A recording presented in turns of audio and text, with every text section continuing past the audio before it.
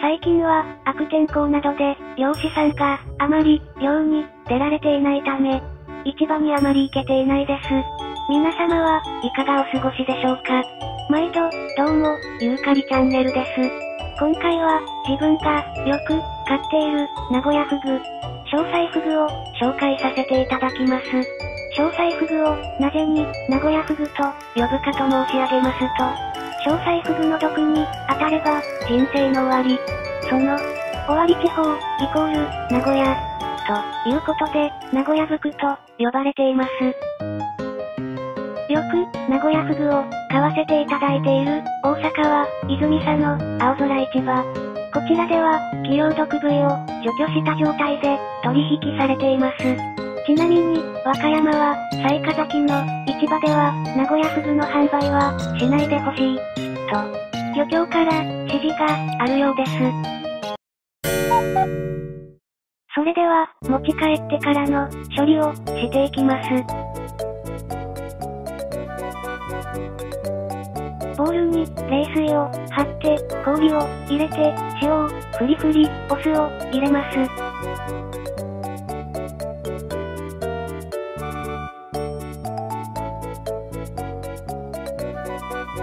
池で、血抜きなどの処理をすれば、日持ちするので、あれば、たくさん、買っています。ヒレや、腹膜、血合い肉、もし、残っていたら、皮も、除去して、よく、洗っていきます。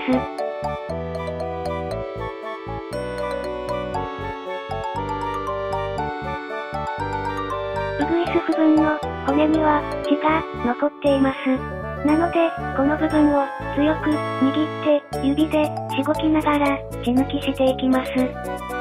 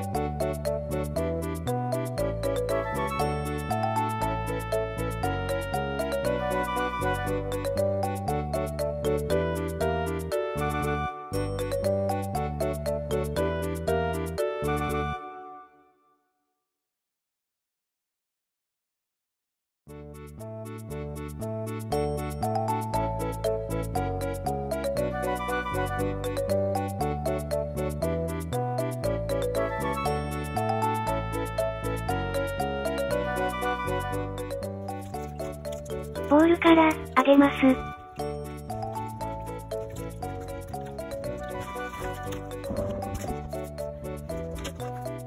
よく水気を拭き取ります。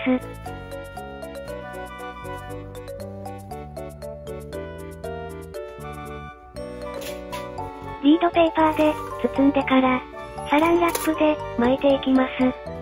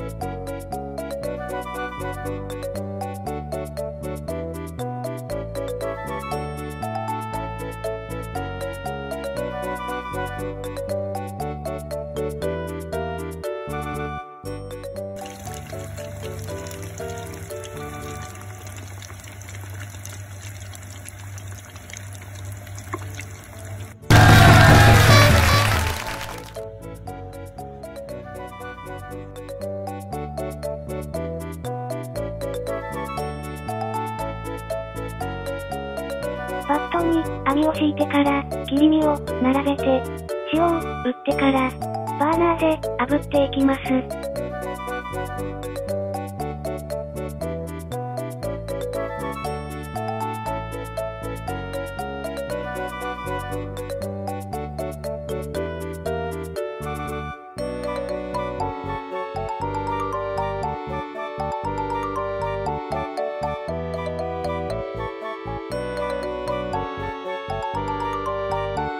炙り終わったら、冷蔵庫に入れて、冷やします。